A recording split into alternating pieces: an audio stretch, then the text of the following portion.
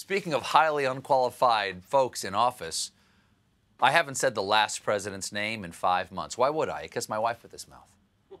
But occasionally there are reasons to talk about the old guy. So last night I asked you, my viewers, to tweet suggestions of what we should call our disgraced former leader using the hashtag he who shall be named. And boy, did you good people deliver the goods. Last night, hashtag he who shall be named was the number one trending topic, and we received over 9,000 suggestions. So, going forward, I will now use one of your nicknames whenever I need to talk about Mar-a-Lardo.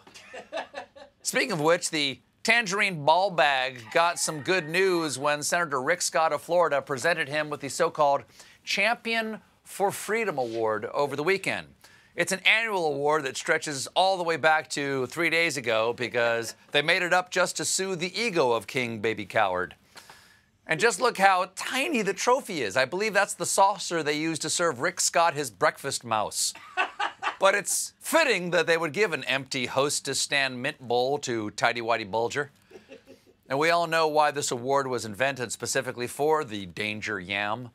It's because Scrotus notoriously adores awards so much he sometimes invents them. Yes, we all remember when Old Yeller crowned himself Ms. CPAC. So thanks to everyone for your suggestions. I'll be sure to use them in the future on those rare occasions when I need to talk about the Floridian Fondler. We got a great show for you tonight. My guest is actor Daniel Kaluuya. But when we come back, Taylor Swift is going to finally answer a question I've been asking for 12 years. Here She's here. Stick around.